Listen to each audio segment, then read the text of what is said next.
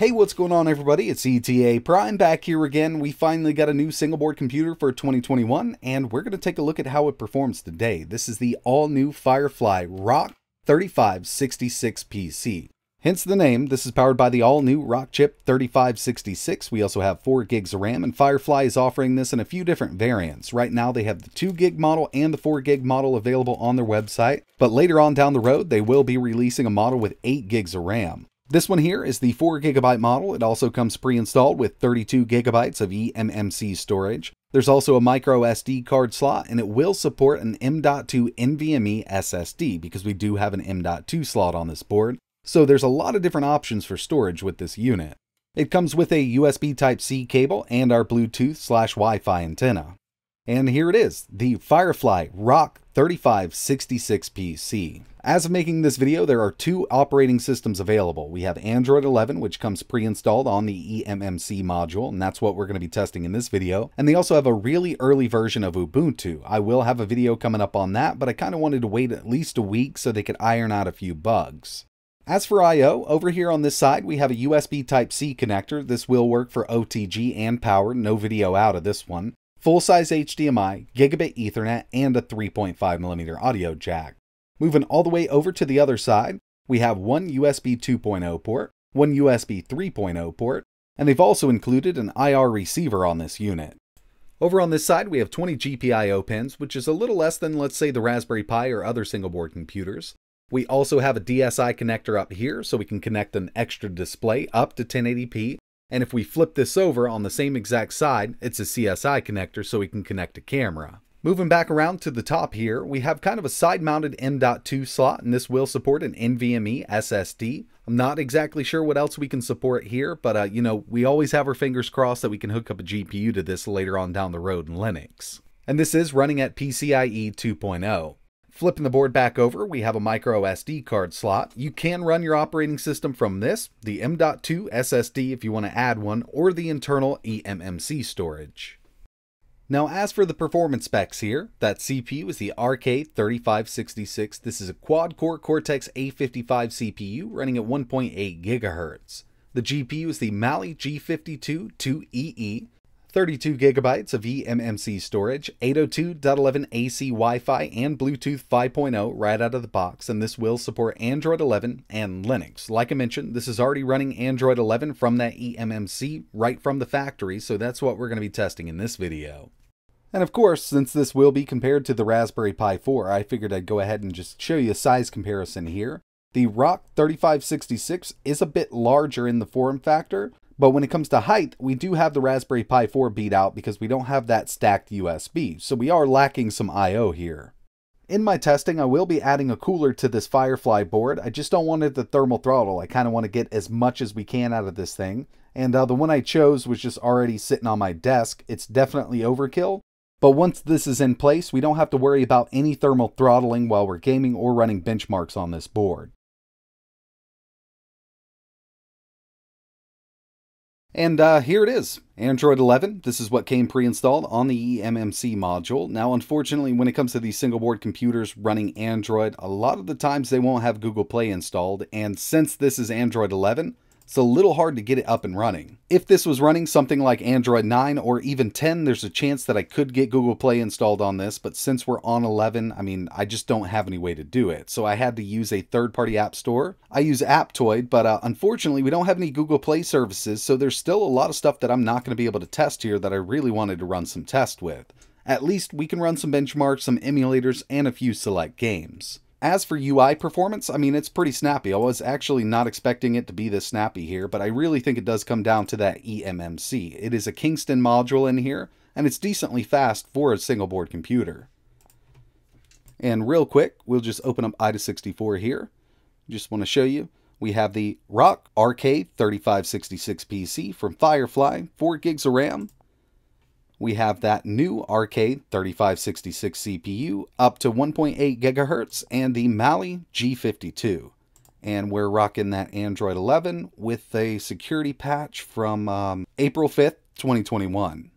I do have a bunch of stuff to test here, but the first thing I want to do is move over to my 4K monitor. Alright, so first things first, I really wanted to get some 4K video playback out of the way. When it comes to these ARM chips, a lot of these manufacturers claim that it'll do 4K right out of the box, and on initial launch, a lot of them are really hard pressed to do good 4K video playback. So let's go ahead and open up YouTube. Since we don't have Google Play installed, I did have to use YouTube Vanced, but uh, we can get 4K here.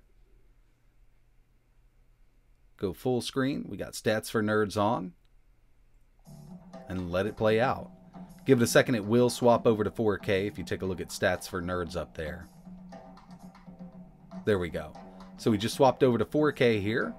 We're getting a couple drop frames, but uh, overall it's really not that bad. Now, one thing I have noticed is even though this is in 4K, our viewpoint is still set at 1080p. I have no way to change the resolution, at least right now with this release of Android for this board. But as you can see, out of about 1200 frames, we've dropped 19. And overall, I've had really good luck with 4K streaming on this device, so let's check out some 4K native playback from the internal storage.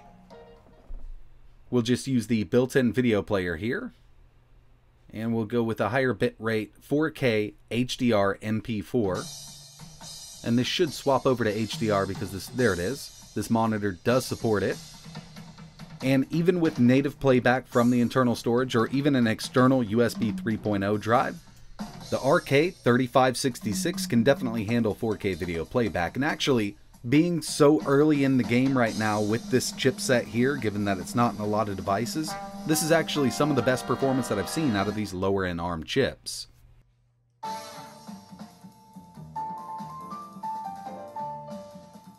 Moving over to some benchmarks. First up, we have Geekbench 5, single core 123, multi 398. Not looking too great here.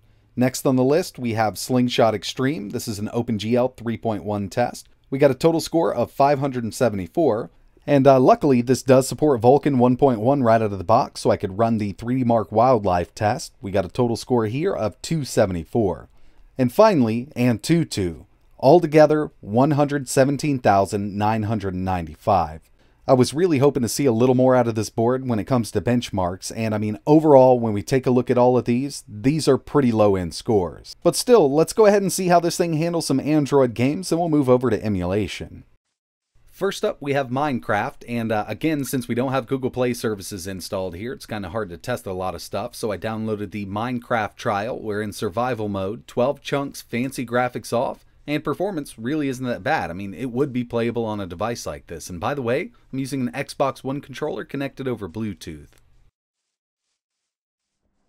Moving over to an easier to run game. This is something that, you know, I wouldn't want to play with a mouse and a keyboard, but uh, we have Among Us here, the Android version. And it's not a hard game to run, and as you can see here, it's running it at full speed. And finally, a game that I can run here without play services installed, Real Racing 3. Even though this is a very well optimized game, I've tested this on a lot of lower end ARM chipsets and Android TV boxes and things like that, and this does look like it's performing a bit better than the S905X3 or even the X4.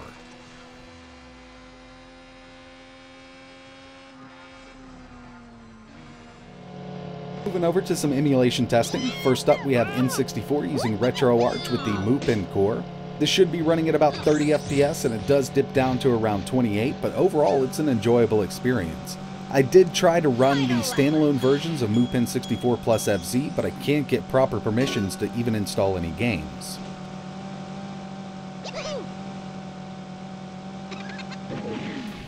Dreamcast using the Flycast core. Here we have Marvel vs. Capcom 2, and we're not quite steady at 60, but uh, it's still pretty playable. I wouldn't notice it dipping down if I didn't have that frame counter on. It's definitely playable like this.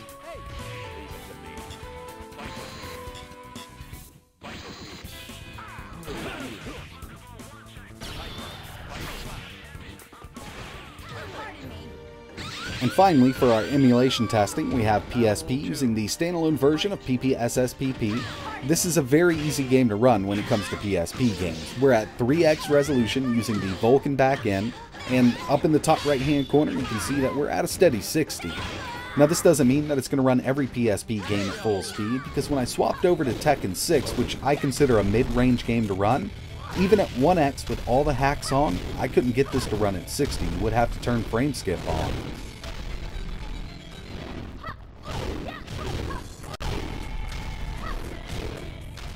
So as it sits right now, I understand that it's a bit early for the RK3566 CPU in terms of firmware and things like that. And that's one of the big reasons I didn't test Linux right now. I could almost guarantee you, as of making this video, it would have been pretty slow. Android usually comes out of the box a little more optimized. We're getting decent UI performance here. Benchmarks aren't looking great. And when it comes down to it, this is really on par with the S905X3 and the X4. We actually scored a bit higher on the GPU side of things, but when it comes to the S905X3 running at 2 GHz, that does beat out the RK3566 in single and multi-core performance when it comes to something like Geekbench. But if I had these side by side, I'd really be hard pressed to tell the difference between the two.